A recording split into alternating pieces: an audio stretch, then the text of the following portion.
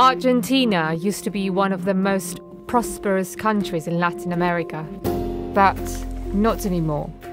Today, more than one third of the population lives below the poverty line. Las caras tristes, los ojos vacíos, eso es desnutrición. Here, hundreds of families rely on this landfill to feed their children. Todos los días yo sé que voy ahí, traigo todos los días para comer.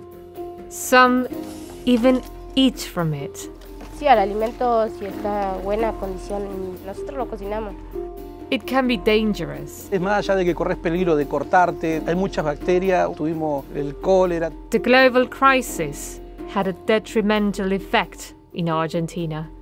The pandemic crushed the country's already fragile economy. And the war in Ukraine made things even worse.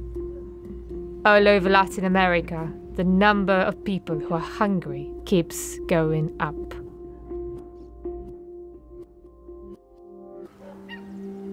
This is Concordia, one of the poorest cities in Argentina. More than half of the people here live under the poverty line. We're entering the Slam El Silencio. It's called like this because during the day, all you can hear is the sound of flies. Cada vez hay más barrios, más asentamientos y, y lo que llama la atención es de que son de gente joven. Most houses are made out of wood. They look precarious. Entire families of six or seven live and sleep in the same room.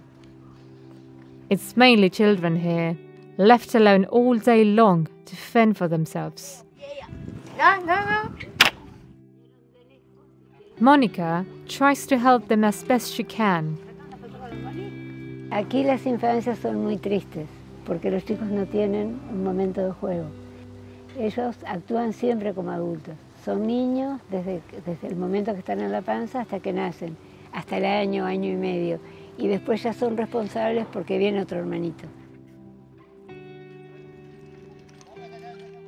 And that's because some parents, most of whom are teenagers, spend all day long working here. This is the biggest landfill in the city. More than 100 tons of rubbish gets dumped here every day. It's an ocean of garbage, glass, plastic, food waste. But this is not how the people here see it. They see an opportunity, like Julio. Todos los días yo sé que voy ahí, traigo todos los días para pa comer, para tener las cosas.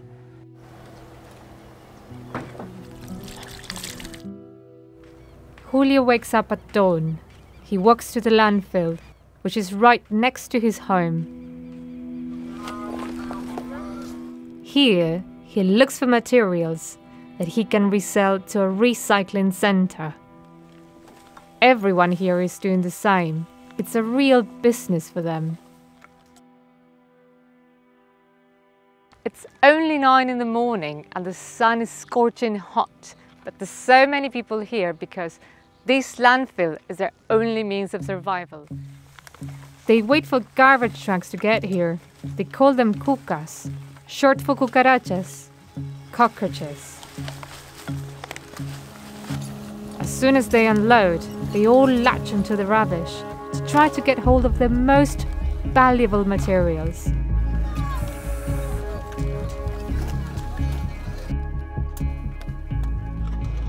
Then they separate the materials into different bags. And when they fill them up, they sell them to a place like this a recycling center. Imagine working in these conditions only to make a few pesos per week.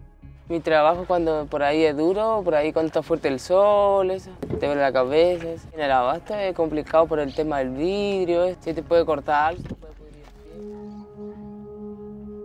En los basurales, más allá de que corres peligro de cortarte, de, de ingerir comida en mal estado, hay muchas bacterias, tuvimos eh, el cólera, montones de, de enfermedades y más allá de la necesidad económica, no conocen otra cosa, no conocen otra realidad.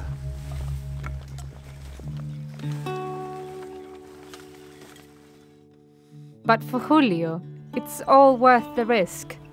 He's managed to build his home with things that he's picked up from the landfill.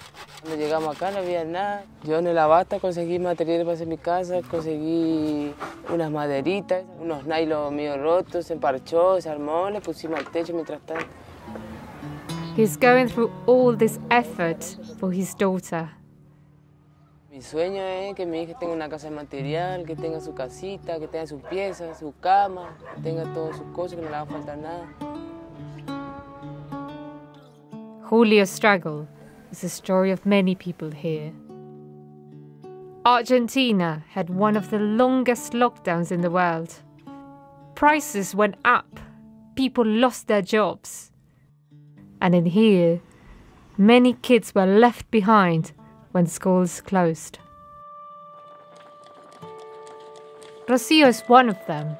She lives in a slum near Julio. Donde nosotros vivimos no, no hay mucha señal, digamos. Por más que el- le pida un celular a un compañero o algo, no puedo estudiar porque no hay señal, no hay internet, nada acá abajo. Y bueno, decidí abandonar porque no tenía nadie que me explique. Yo siento que sí, que nos da la espalda el gobierno.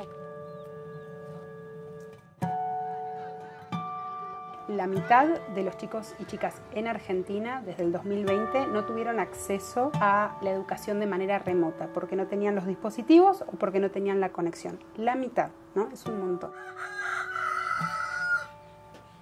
No poder ir a la escuela me hizo sentir mal porque mi sueño era llegar a ser alguien en la vida, como siempre le prometí a mi mamá y a mi papá, y no, no pude. Rocio started working at the landfill when she was just eight years old.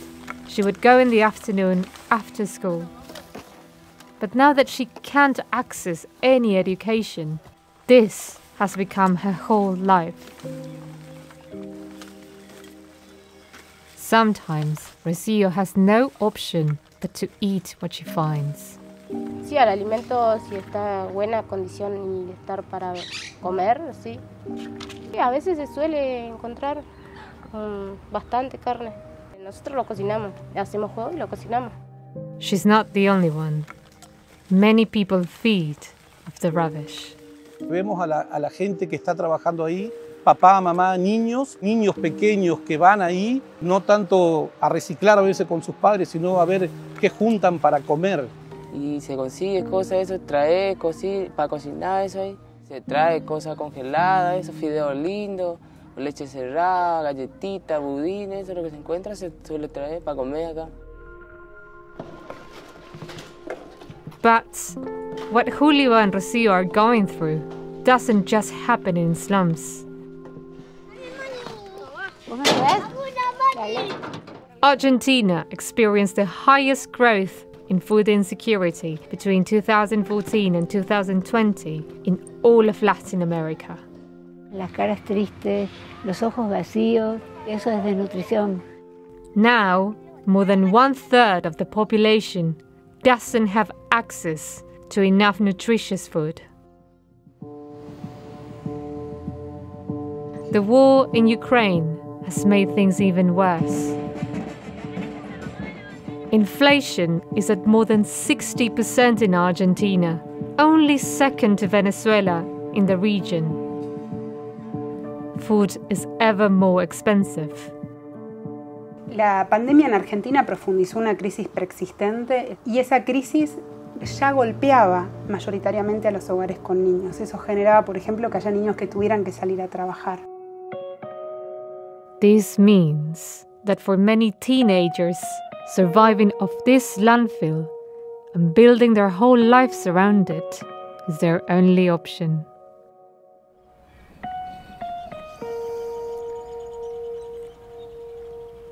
The future looks uncertain, but Julio and Rocio remain hopeful. Ah, Mi sueño es tener mi casa y tener mi laburo, todo. Realmente quiero volver a, participar de vuelta de la escuela para poder a ver si puedo cumplir mi sueño. Veo un poco lejano, pero la esperanza nunca se pierde.